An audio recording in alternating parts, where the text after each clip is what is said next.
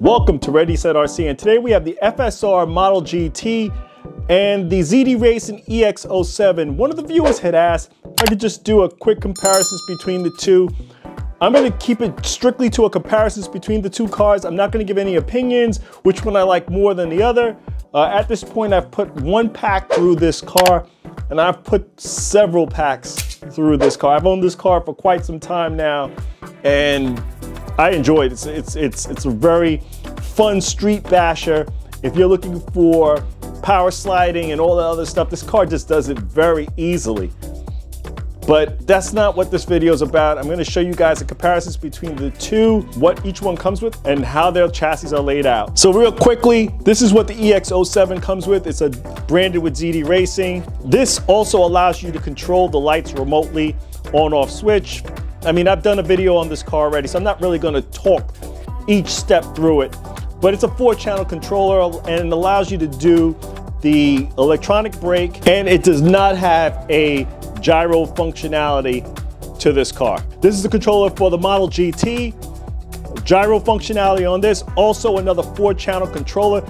Does not control the lights from this. There's no functionality to control there, but you are able to set the gyro, every other trim that you're looking for basically on this controller, just like the EX07.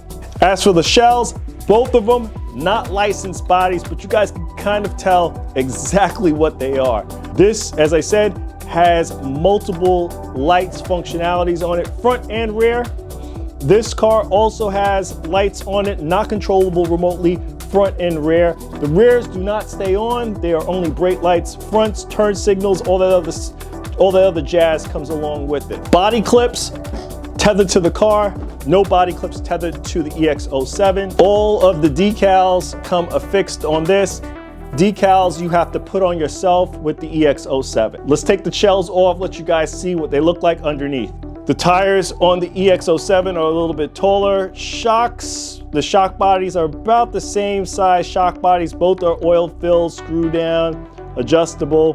We're looking at pillow ball suspensions on the Model GT, multiple adjustments for the shocks on both cars, sway bars on both cars. Uh, I did swap out my servo on the EX07. It was downright horrible. It was way too slow. I had to swap that out. Running the stock Surpass system still in the EX07. Both of them have an e-brake or a mechanical brake, about a center mounted differential. But what you'll notice on the EX07, rather than one long dog bone going to the rear. It is actually broken up into two separate sections. There's, there are two dog bones leading back to the rear differential.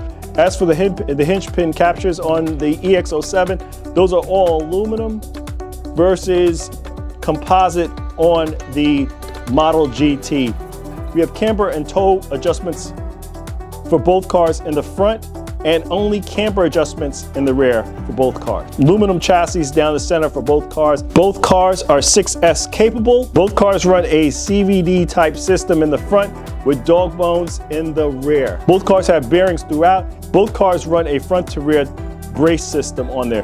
The one thing that I see on the Model GT, there are composite braces on the front and also on the rear on the Model GT. The EX07 does not come with that type of bracing. Composite hubs in the front for both cars, but in the rear, the EX7 has aluminum hubs for the rear. Both cars sport anodized bits throughout the car. The Model GT has a composite side skirts on it and underneath, whereas the EX07 has like a, feels like a thick Lexan or plastic as the side skirts. And there are no protections for the chassis underneath on the EX07.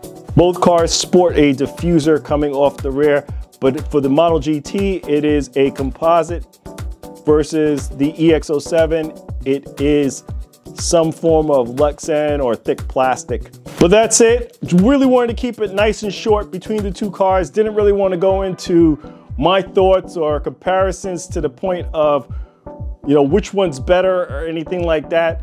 Uh, really just wanted to make a quick video for someone that requested for the two cars, but look for more videos on these two cars. I got something planned, but we're gonna leave it here. Please like, comment, and subscribe. Check us out on Instagram and TikTok for the latest updates to the channel. This is Ready Set RC, signing out. Thanks again, guys.